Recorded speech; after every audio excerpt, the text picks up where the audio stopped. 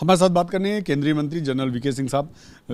Sir Arvind Kejriwal की गिरफ्तारी के बाद दिल्ली में लगातार आम आदमी पार्टी के लोग हंगामा कर रहे हैं और कह रहे हैं कि केंद्र सरकार और भारतीय जनता पार्टी दरअसल विपक्ष को खत्म करना चाहती है।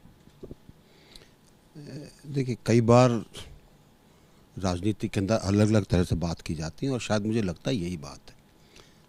सवाल बहुत साधारण है। नौ समन दिए ईडी ने। आपने नौ के नौ टरका दिए। ईडी क्यों बुला रही है आपको? शराब घोटाले की जाँच चल रही है। शराब घोटाला क्या है? सरकार ने एक नई नीति बनाई। उस नीति के अंदर जो सरकार जो कमाती थी वो कम हो गया। जो प्राइवेट रिटेलर कमाते थे वो ज़्यादा हो गया। कुछ तो गड़बड़ है। फैसला किसने लिया? नीतियाँ जब बदलती हैं किसी भी प्रदेश के अंदर, मुख्यमंत्री और कैबिनेट करती है। अब आप कहें जी, मुझे कुछ पता ही नहीं है। गलत बात है। ईडी यही जानने की कोशिश कर रही है, ना अब आप उसको अवॉइड कर रहे हो, उसके बाद ईडी को फिर सहारा लेना पड़ा, और कि भाई ये तो वैसे बताएँगे नहीं। कम से कम एक बार हमारे पास आए तो सही, ताकि पता तो चले।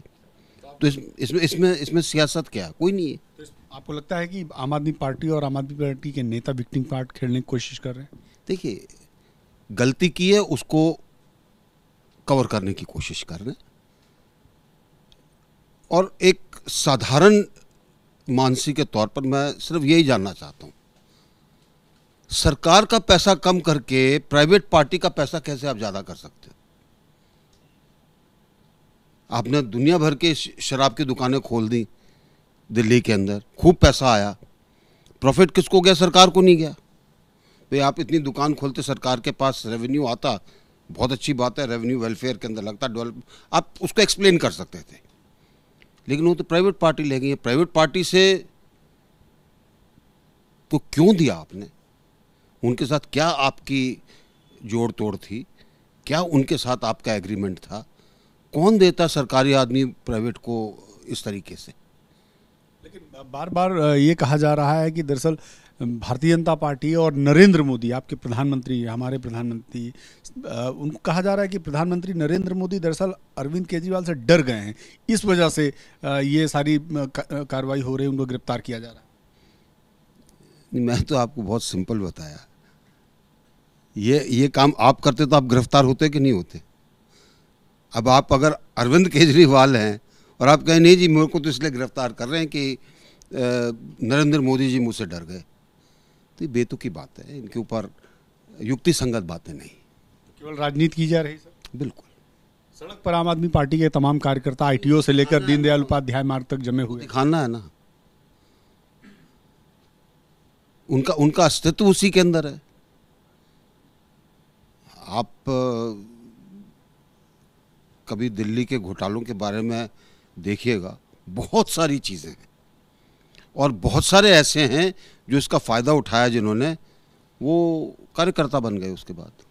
विपक्ष के बड़े नेता शरद पवार राहुल गांधी ये सारे लोग एक के बाद एक सपोर्ट में आ गए हैं अरविंद केजरीवाल के और केंद्र सरकार पर हमला कर रहे हैं नरेंद्र मोदी पर हमला कर रहे हैं। यही तो आश्चर्य की बात है जो कल तक उनको गाली देते थे और गाली खाते थे उनसे। आज वो सपोर्ट में खड़े हो गए तो आश्चर्य की बात है।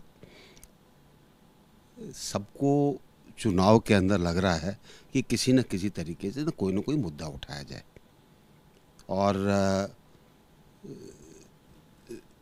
कांग्रेस पार्टी भी इससे पहले शराब घोटाले की बात कर रही थी कि गलत है। आप कैसे सपोर्ट कर दोगे उसको? कोई, यानी हर चीज़ युक्ति संगत नहीं है। इलॉजिकल है।